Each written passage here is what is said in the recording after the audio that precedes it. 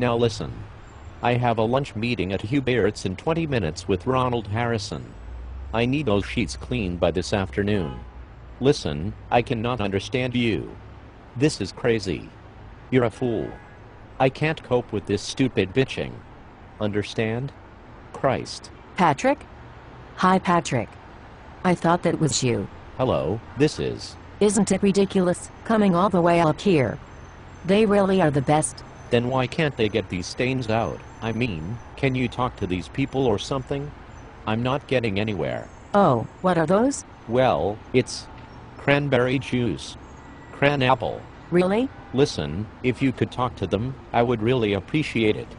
I'm really late. I have a lunch appointment at Hubert's in 15 minutes. Hubert's? That moved uptown right. Oh, boy. Listen, I've gotta go. Thank you, Victoria. Maybe we could do lunch one day next week. I'm downtown quite often. I'm at work all the time. What about a Saturday? Next Saturday? Sure. Can't, I'm afraid. At a matinee of Les Mis. Listen, I really gotta go. Oh Christ. I'll call you.